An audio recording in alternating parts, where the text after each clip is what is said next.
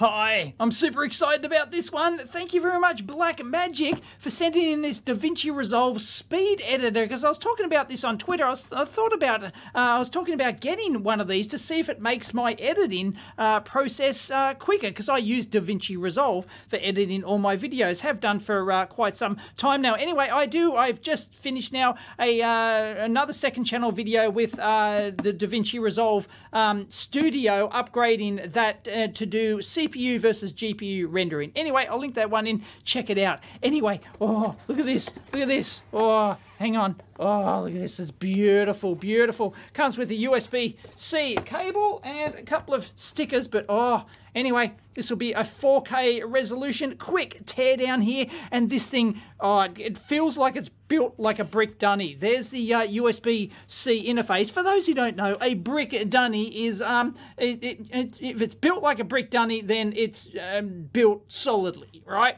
So that's what uh, we say here in Australia. It's built like a brick dunny, and Oh, this uh, jog shuttle wheel. It feels, this is not Feel-O-Vision, but it's got the rubber baby buggy bumpers around there. And just the weight and the velocity of that.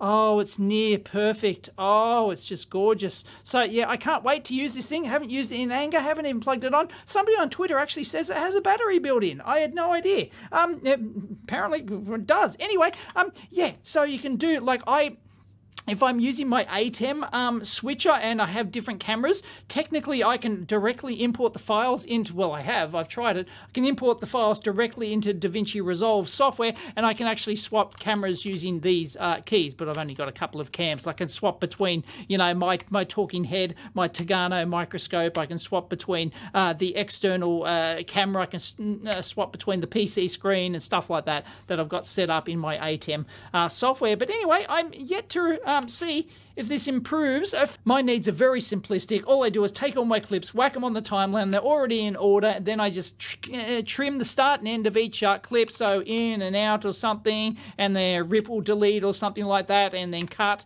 Um, you know, start, stop, and they, they're probably the only keys I'll use. I'll probably only use like 10% of the keys on this thing. Um, uh, so yeah, my my needs aren't great. Um, uh, being a YouTuber. Oh, that's that's almost too fast there. Maybe it needs a bit more. I can't can't keep up with my finger in the hole there. Oh, that's what she said. Um. Anyway, uh, yeah. Let's take this apart. So. Um, speed editor. Oh, oh. By the way, oh, the, the, the, the keys. Once again, not Feel-O-Vision, but this feels and sounds like some 1980s IBM um, key, and that's it's just gorgeous. That's all I can say about that. So anyway, uh, we do have uh, rubber on the bottom to stop it uh, sliding around. So yep, I do believe this one's this one made here in Australia. Um, doesn't say, does it? Screws are out. Yeah, we'll probably have to get the spudger in there, I think. Nah, there's more screws under there, damn it. All right. Now it's off. No, I might have to take the jog wheel off. Oh, this could be... I was hoping that the back would pop off. Let me try the spudger again. Aha, uh -huh, got it, got it, got it. Yeah, I didn't have to take the jog wheel off. I was, thought I might have to take that rubber off the jog wheel, but yeah, it does have, and it's got a single 18650. There you go. So apparently you can use this thing for Bluetooth. Um, so that's interesting. Ah, there we go. So yeah, 2800 milliamp hour, 18650. Don't know what the brand is. Uh, nope, nope, whatever. Um, the good thing is just easy to replace, right? And they've they've actually integrated, yeah, they've integrated the holder on the back there. So that's really nice. So there you go. Oh, black solder mask um, on that top board up there. So let's have a look. But that's our, uh, no, that's not our, that's a separate, that's interesting. That's a separate board for those? Really? Just for those? That, that doesn't make sense. Why would you, maybe, is there another version or something? I don't know why you wouldn't, like, okay, so if you have to make your board an odd shape like that, it doesn't fit into, like, as many on a panel as well and stuff like that. But anyway, um, that's interesting, but yeah, you've got extra cable and uh, connectors and bill of materials and stuff like that to add that. So maybe, I don't know, maybe there is a different uh, version. So that's why they separated the boards. And uh, I won't, sorry, I won't be disabling the jog shuttle. So I don't know what brand that is. I've got no idea whatsoever. Just trust me, it feels absolutely gorgeous. But uh, there you go. Um, what's, what else is on there? Not much. Can't make out that on my camcorder screen, but I will get the number off that and I'll put it up. We've got ourselves a little uh, switchy switch, little uh, maybe boot uh, switch or something like that. That's our USB-C interface there, so they're just using a USB. They're getting the uh, power over that and uh, comms, obviously. So, yeah, there's not much to this at all. Another little doodad there. Is that just a 3.3 volt reg? Is it?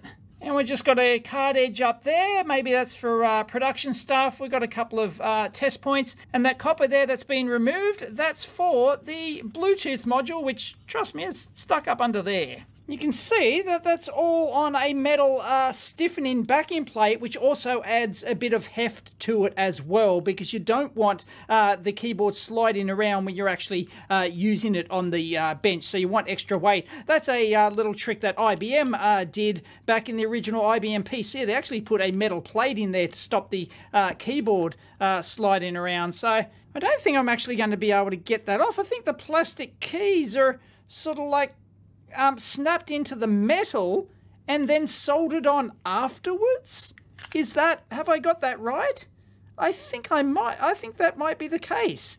So anyway, there you go. There's a little uh, Bluetooth module under there apparently so you can use it uh, you know that'd be nice if you're editing on the road with your laptop and stuff like that you don't have to plug the uh, cable in you can just charge it up and don't know how many hours of uh, editing you get but that's you know that's a nice touch. Uh, maybe I can use that myself instead of having yet another cable just being dragged around the uh, bench. But I, I, really like the uh, USB-C on that. Look, look at the uh, little plastic surround on there. That's for is that for mechanical support or something? They've done that. Looks like you know, an extra process, extra steps. That's really professional. So the whole thing looks uh, really professional, actually, and I didn't expect to see anything more in here. I expected a processor um, and I expected a PCB with the switches mounted on them and exactly what we bought, got. And the uh, jog shuttle is um, separate. So, yeah, sorry, I don't know what brand it uses, but oh, it just feels beautifully weighted. Just absolutely beautiful. Look at that. It just spins like a Bobby Dazzler. anyway, that's inside the DaVinci Resolve Speed Editor. Catch you next time.